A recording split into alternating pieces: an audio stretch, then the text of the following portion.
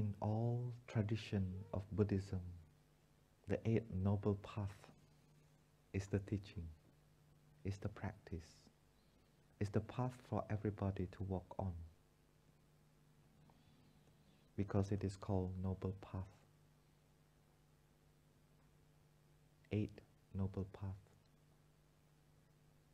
They are like a highway with many lines. They have eight lines. And wherever you are in any lines, you are in the path. This is the amazing discovery in our practice. That you don't need to do one path and then another path and then another path separately. Um, so with the insight of interbeing, we just need to walk on one path and automatically we walk in the whole path, right? No matter what line you are, you are still in the highway. Yeah. As long as you enter the highway, you are in the highway. So mindfulness is the mm, is the entrance to the path. You can enter the path in in many, in, in every path you can enter. But mindfulness is the, the door that we enter to the Eight Noble Path in Plum Village. When we are mindful, we know that we can embrace, we can get in touch with, and that's what we call concentration. That is what we call stopping. And when we stop and get in touch with, then we have a chance to look deeply, to understand, and to love.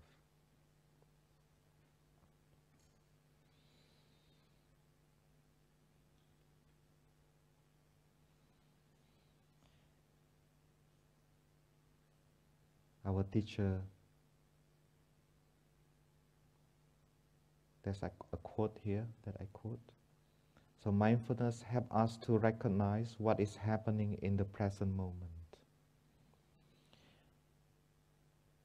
So in order to recognize what is the present moment, it requires stopping, looking deeply, and recognizing both uniqueness of the moment and its connection from the past and the future.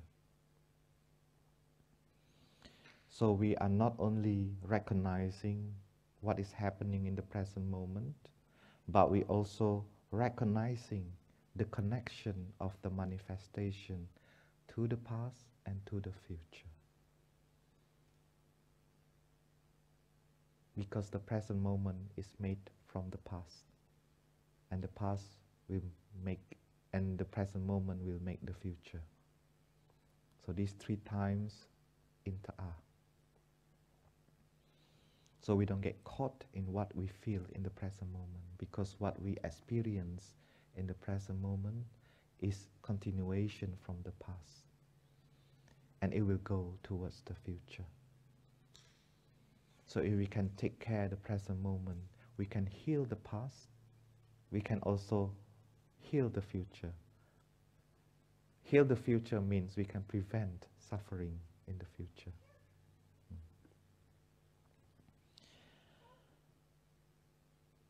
And we have a very clear path of practice to generate mindfulness. We have Anapanasati Sutra from the Majjhima Nikaya.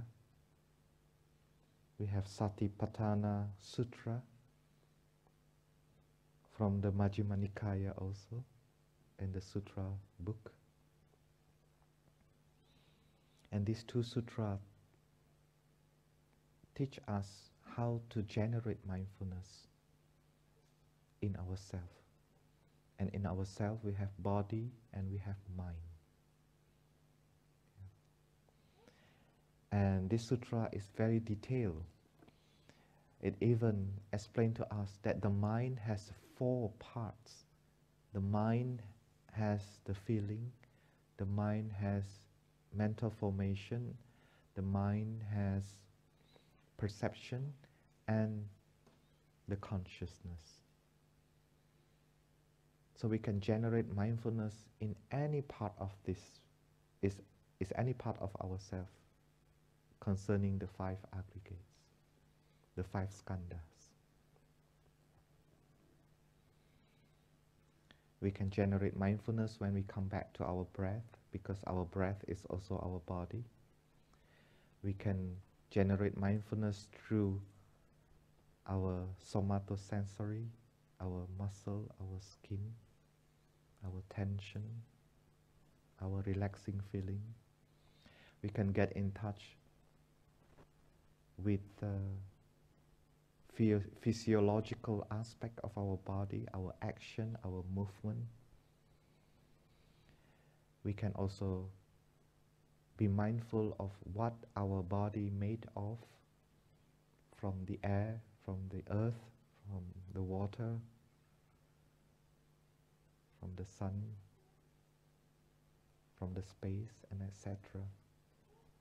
We also can get in touch with our body through the body parts from the head to the feet. And this is very interesting exercise when I practice this. In the blooming of the lotus, there is exercise. Breathing in, I'm aware of the hair on my head. And breathing out, I smile to the hair of my head. And for me, this is a very creative way to be concent concentrated. Because when you smile, you need to smile to an object. So you have to know also roughly where is the geography of your hair. It must be here, not here, right? So we have to move our mind to the top of our head, and then you smile. And then the next exercise is I'm aware of my eyes, and you move your attention to your eyes, and you smile to your eyes, and you need a certain level of concentration to do that. And so on and so on. And when we practice deeply this exercise, each part of the organ can give us information, can give us insight, and can give us happiness. Like aware of my teeth, I breathe in, smile to my teeth, I breathe out. A very simple exercise. And suddenly you realize that your teeth is also your digestion system. Is that correct? The teeth is also your bone that come out from your body. And the best part is when they are not painful. And you realize that, oh, it is not painful. My teeth are not painful. And that is it can give you happiness. Yeah. So getting in touch with the body, we can stop, we can be concentrated and get insight directly. Very simple practice. So the Anapanasati Sutra and the Satipatthana Sutra, both sutra are very powerful and it's a very wonderful way to get in touch to ourselves and heal. And this is a long life practice, a long life study. So don't be too hurry to study all of the sutra. I know that in Upper Hamlet you study this sutra and uh, take your time and just be relaxed about it. If you don't understand, tell yourself it's okay. Volunteer to not understand so that you don't struggle. Yeah. And then our teacher not only teaching this sutra, but also our teacher has a, learned from Yogacara school, from the master of Vasubandhu. He is from the fourth or the fifth century in the common era. It's a very, um, it's almost like a meditation scientist at that time. And they wrote a lot of uh, Buddhist psychology, how the mind work, yeah.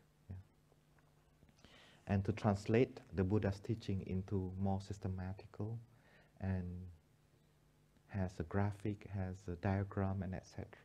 So the diagram that you have seen a lot with the circle, they are uh, from this school.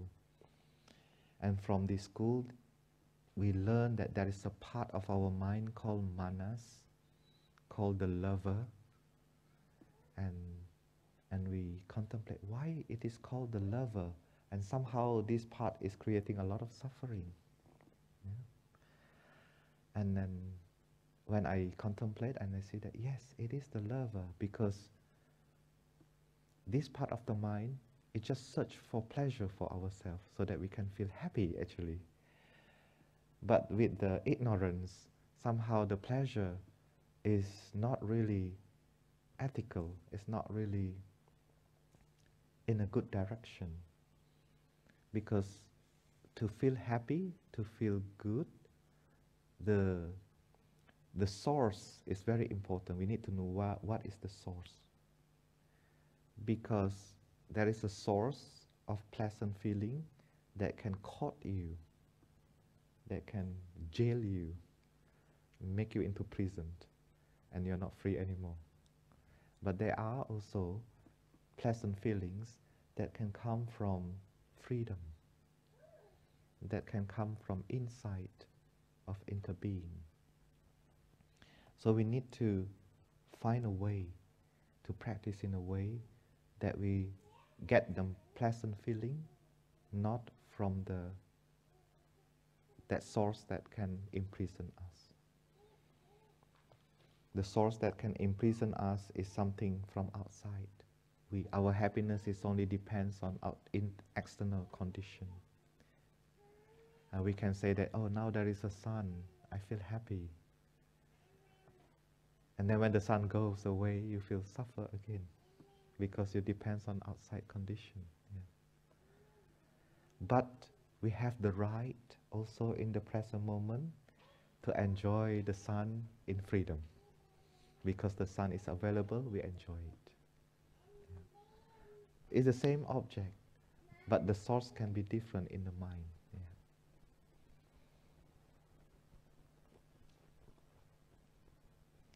And because of this part of the mind, want us to feel happy but has no insight, then we continue to suffer. Because this part of the mind looking for pleasure in a very limited view, yeah, in a very limited insight. And it uses a lot of uh, habit energy. Yeah. And and we will go around and around in our habit energy. So, so with mindfulness, we can recognize what is this part of the mind produce. Yeah. Where is this mind? Uh, in our action so we want to detect that with mindfulness so that we know this is the habit energy and we can transform that habit energy with times. Yeah? Not fighting with compassion. With compassion we embrace, recognize and transform.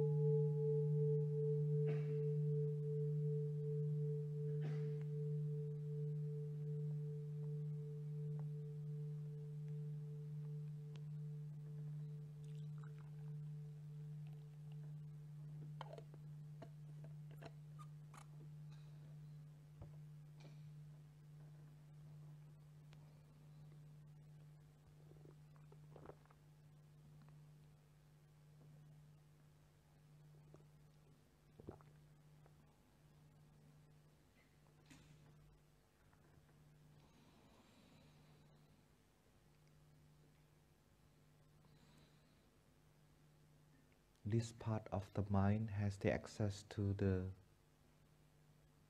bad experience that we had. It has also access to the good experience that we had. So that is why we can get attached to the good experience very quickly. And we can run away from our bad experience very quickly also, before our conscious mind is aware of it. Because this mind is unconscious, it is not conscious mind. It has no moderation. It does not want to know that suffering is good for our happiness. Does not know that we can use our suffering to generate compassion.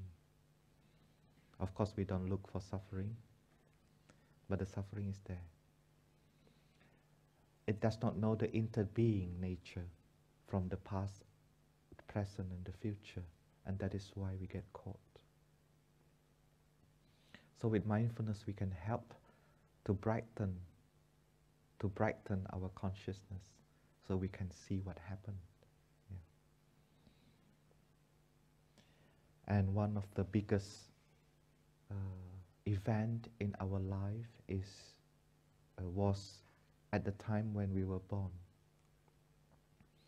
At that time, we were cut off, separated from someone that has been with us 24 hours for many months.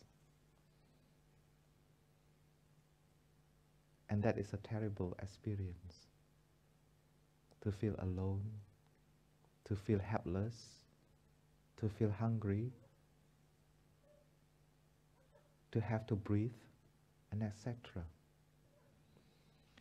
And that is become our experience and become the habit energy inside of us. And of course, at that time, the only dream that we have is to uh, re-experience again the condition in the womb of our mother. And of course, the only things that we want, we do not want to experience is to be separated, to be disconnected, to be alone, to be cut off. But somehow, these two habits continue the whole life in every aspect of our life. Last month I practiced sit upright in meditation. And in, in a simple some minutes only, I already bend my body. And I have to bend it up again and it bend back. And I ask myself, why my body do that? Because I consciously I want to sit upright.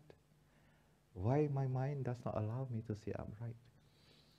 And I recognize that actually when I sit upright, there are some part of my body is are painful, and that is why the body do some compensation to bend so that I don't feel the pain. And but this is just running away from pain, not facing the pain. And when it is running away the pain, it means the other part of my organ will get sick. My, maybe my spine will get sick. Maybe my waist will get my waist will get pain uh, if I sit like this for a long time. Yeah. So I recognize that oh, that is a habit energy to run away from suffering, and I can see that that is still the same suffering that we running away from.